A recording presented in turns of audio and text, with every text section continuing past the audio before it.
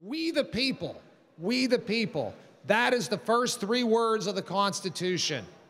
But how many people out there have no idea what the Constitution is? How many people out there don't even know there's three branches of government? How many people out there don't even understand the difference between a local government, the state government, and the federal government? You see this all the time.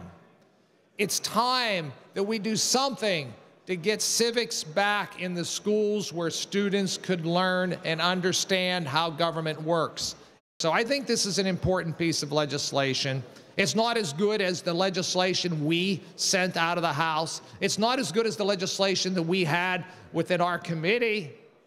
Uh, but I guess this is called the art of compromise. But you know what?